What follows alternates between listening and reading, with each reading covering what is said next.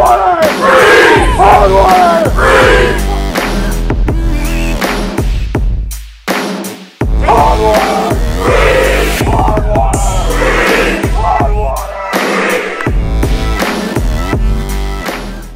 All right, guys, what's going on? So I'm gonna give you guys a little anchoring tip when you're in a slow moving river, shallow moving river, nothing fast. Do not do this when you are in fast or deep water.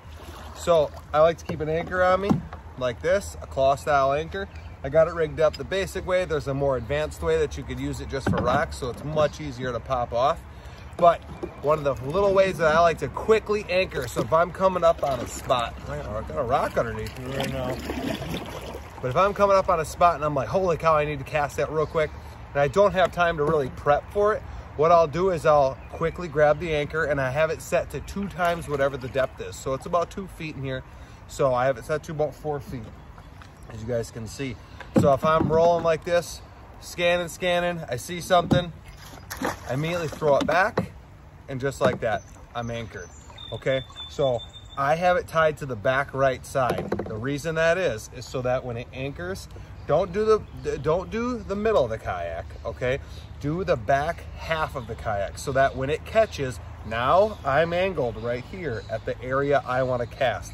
So you only have to worry about where you throw the anchor left and right. So if no matter where I'm at, I'm throwing it off the right side. But I always, because I'm right-handed, I'm gonna be casting off my left side. So you just gotta worry about how far from shore you are, and that's that easy. Show you guys how easy that is again. I pull it back in. We'll get rolling here with the current. Let me get up here out of the way from this tree. So same thing again. I'll be like, oh, I want to cast that spot. I throw it just like that. It's going to drag a little bit sometimes to catch. It's going to slowly slow me down and it just caught just like that, that fast.